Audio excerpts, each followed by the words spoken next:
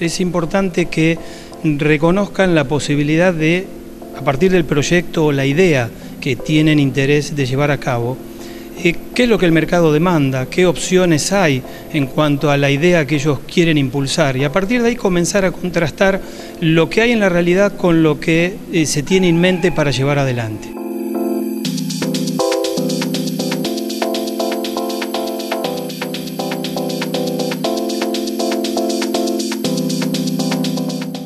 Desde décadas, los empresarios y la gente de negocios fue dándose cuenta que los emprendimientos que iban llevando en forma individual y aislada se volvieron cada vez más complejos, más difíciles de llevar adelante. El cliente se volvía cada vez más exigente y eso llevó a que paulatinamente se fueran vinculando entre sí, tanto dentro de las propias empresas, dentro de los propios emprendimientos, como así también vinculándose a nivel de empresas. Esto generó toda una red de contactos y de actividades que tarde o temprano debieron optimizarse a los fines de poder hacer un uso racional de los recursos, es decir, llevar a la optimización de todos esos recursos. Fue así que eh, se fueron dando cuenta que determinadas personas realizaban algunas actividades de un modo sobresaliente, distintivo, diferente de como lo hacía el resto. Comenzaron a evaluar qué tenían estas personas, qué era lo que hacían, y dónde estaba ese valor particular que las tornaba a sus acciones y los resultados que obtenían diferentes y en algunos casos sobresalientes. Fue así que Michael Porter, investigando principalmente el tema de utilización, optimización de recursos, él pensaba en optimizar principalmente costos, minimizar costos, y dio con el concepto que hoy se conoce como de cadena de valor, que él propuso como cadena de valor empresarial, con el fin de disminuir costos, maximizar eh, la utilización de los recursos, minimizando el impacto de la, incidencia de estos en los resultados finales. Y de ahí la gente de marketing, los teóricos, trasladaron este conocimiento a toda el área que tiene que ver con los negocios, la producción, los servicios, y se dieron cuenta que podían eh, aplicar el concepto de cadena de valor a cualquier número de actividades o procesos que dentro de las empresas se volvían estratégicos, se volvían esenciales para que los resultados a obtener se cumplieran, los objetivos y las metas se cumplieran y los resultados fueran los mejores posibles a obtener.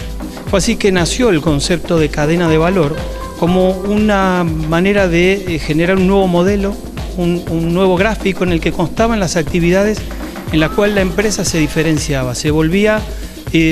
muy competitiva, ventajosamente competitiva y obtenía los resultados que buscaba principalmente en miras al mercado eh, para generar el máximo valor posible por parte de ese cliente final, el consumidor, el verdadero usuario, en relación a sus productos o sus servicios.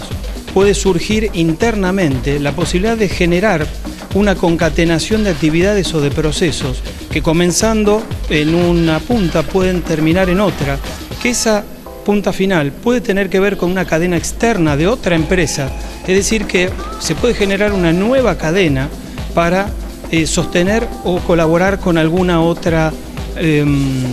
empresa externa. El hecho era entonces eh, poder agregar valor a lo ya existente o a partir de eh, benchmarking, innovación, creatividad, poder generar nuevas cadenas, nuevas actividades, nuevos procesos que introdujeran todo tipo de mejoras, como dijimos,